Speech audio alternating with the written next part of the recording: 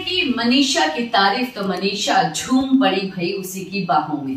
चलिए आप लोगों को बताते हैं, ये लेटेस्ट अपडेट चैनल को ज़रूर सब्सक्राइब कीजिए बेल आइकन को दबाइए, इस वीडियो को लाइक कीजिए शेयर कीजिए। ज़्यादा दिन को कहीं ना कहीं तो भाई प्यार करने लगी गई है मनीषा।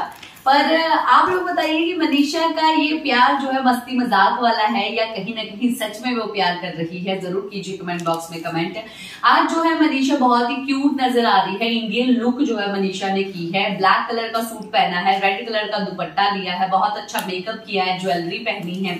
जहाँ पर बाथरूम से वो बस सीढ़ियों से निकल ही रही होती है कि जनादिन वहाँ पर देख लेता है उसको और बोलता है कि बहुत क्यूट है और प्रॉपर इंडियन लुक है। और मैंने इंडियन लुक में ब्लैक सूट और ये रेड दुपट्टा कभी नहीं देखा, तुम बहुत ज़्यादा सुंदर लग रही हो।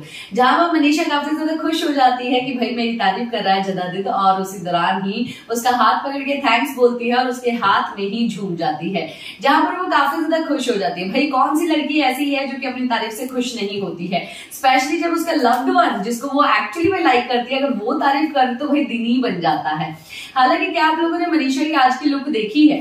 ब्लैक सूट की पूरी प्रॉपर इंडियन लुक काफ़ी ज़्यादा खूबसूरत लग रही है। आपको कैसी लग रही है? बताइए ज़रूर। इसी के साथ मैं लेती हूँ नमस्कार।